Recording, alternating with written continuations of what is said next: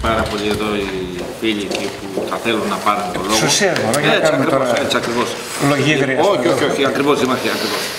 Πρέπει όμως να πούμε δύο πράγματα εν συγκρίση με το τι έχει γίνει μέχρι τώρα. Κάθε φορά λοιπόν που λέμε φεύγει, δεν φεύγει το ΤΕΙ, συνήθως συγκεντρωνόμαστε, συζητάμε. Το κρατάμε το ΤΕΙ, μετά το ξεχνάμε.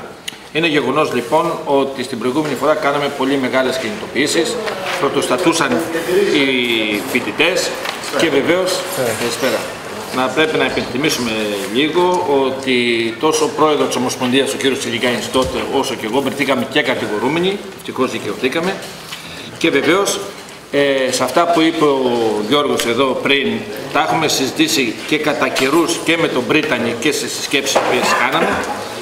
Τώρα, το ότι οι φοιτητές έχουν φύγει από την πόλη μας είναι γεγονός. Το απέδειξε και η επίσημη έρευνα που παρουσιάσαμε πριν λίγο καιρό και νομίζω ότι όλοι πήρατε το βιβλίο και ξέρετε πολύ καλά ότι μας γυρίσανε την πλάτη. Άρα λοιπόν εμείς πρέπει να συμφωνήσουμε με τον Γιώργο και να πούμε αν πραγματικά θέλουμε το ΤΕΙ ή δεν το θέλουμε. Και αν πραγματικά το θέλουμε, θα πρέπει να σκεφτούμε και αυτό για τις εγκαταστάσεις.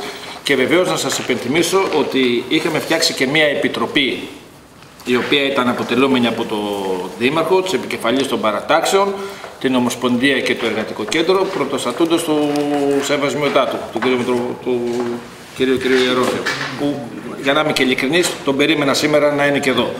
Ε, δεν ξέρω αν δεν, δεν το γνωρίζετε. Ε, δεν ξέρω, δεν το ξέρω. Καλό θα είναι λοιπόν για μένα να ξαναβρεθούμε πάλι να συσταθεί η Επιτροπή, να δώσουμε τον αγώνα όπως είχαμε αποφασίσει το Δημοτικό Συμβούλιο. Θα τελειώσω εγώ και άμα είναι πάνω